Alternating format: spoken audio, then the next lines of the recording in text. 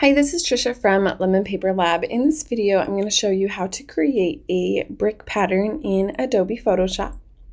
A lot of times when I create patterns, I um, start from a square, um, but in this case, brick is a little bit more of a rectangle. So I am going to use the help of uh, grids to uh, set up this pattern. So I'm going to go ahead and click on New File here.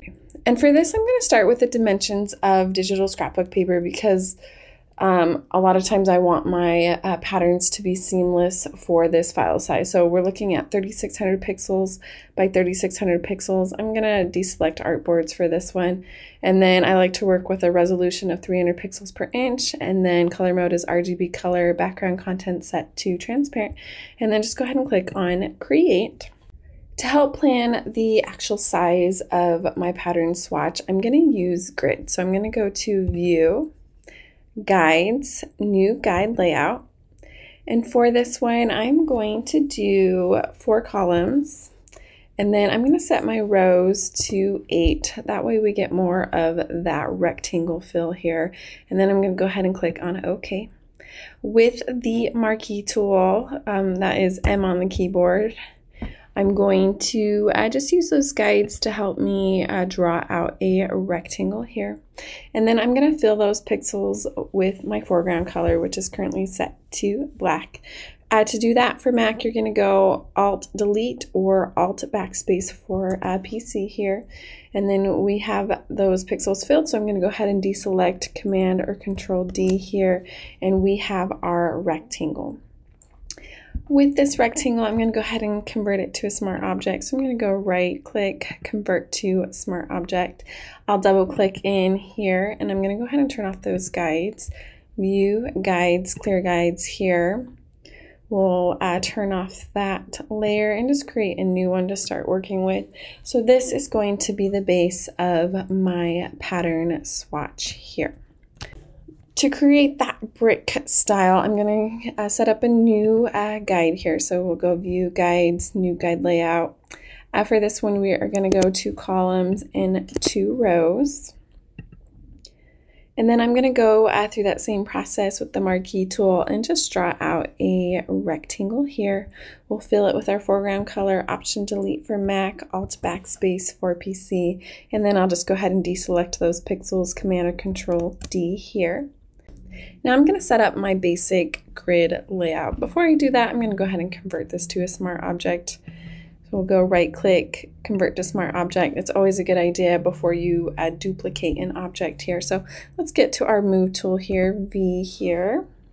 And then I'm going to move this to the corner. I like to use the transform tool, so Command or Control T. We'll just go 0 for X and 0 for Y here. That way we have our starting point. And then I'm going to go ahead and duplicate this layer, Command or Control J. And then we'll just drag it until we align to the grids here. And then we'll duplicate that again, Command or Control J. And then we will drag it here to the side. Uh, the, the objects that appear up here need to appear at the bottom as well. So let's go ahead and uh, shift click to select all those layers. I'm going to go ahead and duplicate it, Command or Control J and then we will drag it down to the bottom until we align to uh, our grids here. And then we just need to get the repeats here in the center. So I'm just going to grab uh, two layers here, and then I'm going to duplicate them, Command or Control J, bringing them here. Uh, this time it's difficult to see because it's all black, but we have one here and one here. So we have the basic grid. We can't see it yet because they're solid black. So let's go ahead and click in to uh, the smart object here. I'm going to go ahead and get rid of these guides. We'll go view guides, clear guides here. I'm going to turn off this layer. We'll create a new layer here. I'm going to go ahead and zoom in on my canvas, command or control with the plus key here. And now I'm going to create some lines. So using the line tool, you under the shapes tools here, you can right click to select the line tool. And then I'm just going to start on this uh, left side and then just hit shift click to draw out a straight line here. Uh, currently, Uh, we have a fill, so let's go ahead and turn off our fill and then let's add a black stroke here. And then let's bump up our uh, stroke width. Let's try uh, 50 pixels to start with here.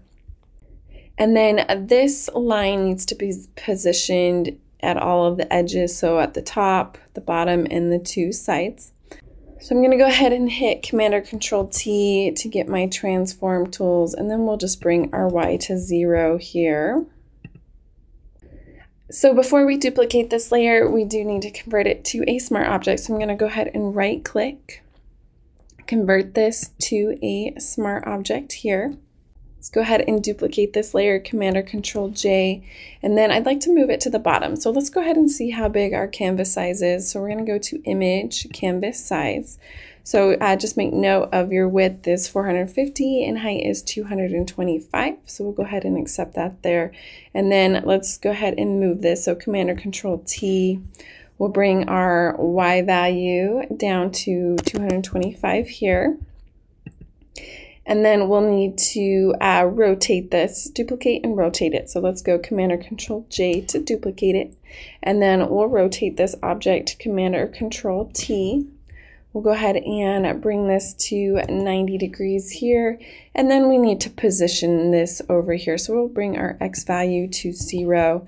And then let's bring uh, the Y value to a more of a center point.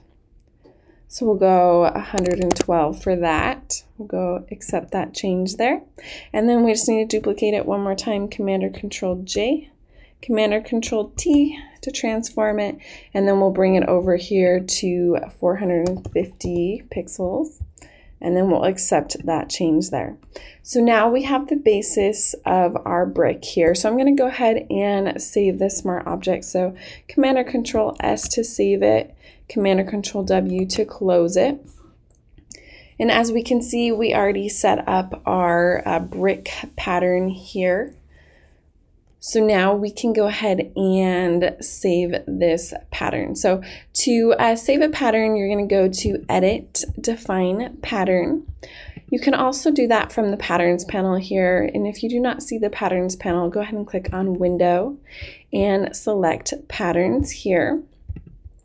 Within the Patterns panel, you can click on this plus icon and it will automatically save it. You can give it a name can call it brick here, and then just click on OK. And so now we see our newly created swatch. Uh, let's go ahead and test this pattern out. So let's go ahead and close this layer. So we can save it here, Command or Control S, and then close it, Command or Control W. We have our original one here. So let's go ahead and minimize that. Let's get rid of our guides, view guide, clear guides here. And then from the patterns panel, you can drag your newly created pattern and it will create a pattern fill layer. We will unclip that. So just hovering between the two layers here, option click, and that just creates its own uh, layer here without a clipping mask. So we see our pattern. When you double click on a pattern fill layer, you have the option to, um, you could always scale it down if you want um, to change the size of it here.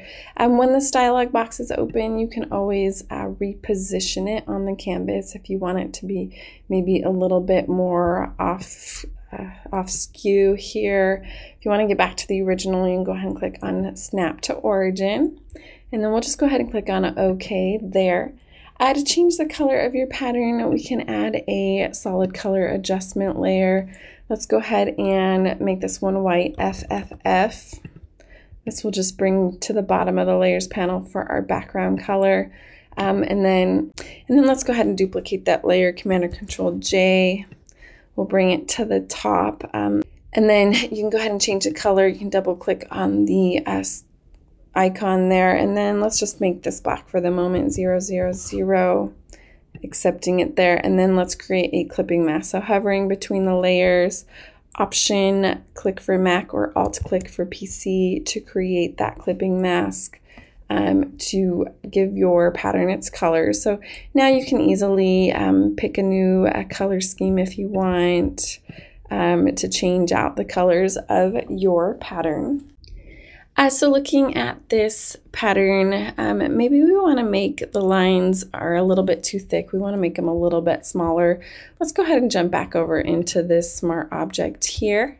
And then we need to go um, into our brick and then we need to go in one more to our line. And then here, making sure your line tool is selected, let's go ahead and reduce the stroke uh, width. So let's try uh, 20 pixels this time. And then you can just go ahead and save this smart object, Command or Control S, uh, Command or Control W to close it. We'll do the same thing, save this, Command or Control S, Command or Control W to close it, and then we'll just redefine this pattern here by clicking on our button and we can just name it brick 2. We'll click on OK here. We have our newly created pattern. And then we can just exit. Uh, you can leave this open if you want, um, but let's just jump back over here and try out our new pattern.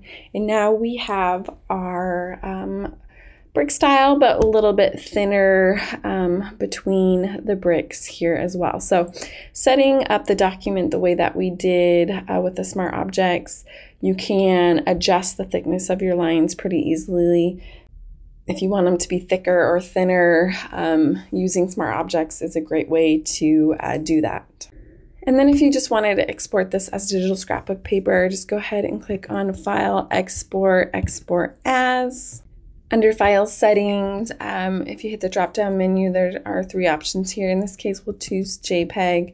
And then um, quality for digital scrapbook paper, you want it to be at least a high quality so you can uh, bring it up if you want here. I, I just note that the higher the quality, typically the larger the file size. And then just scrolling down under color space, I like to make sure embed color profile is selected. And then you can just click to export your pattern. Thank you for watching this video on how to create a brick style pattern in Adobe Photoshop. In this video, I focused on how you can use uh, guides and smart objects to help create this pattern. If you like this video, go ahead and give it a thumbs up and leave me a comment below. This is Tricia from Lemon Paper Lab. See you next time.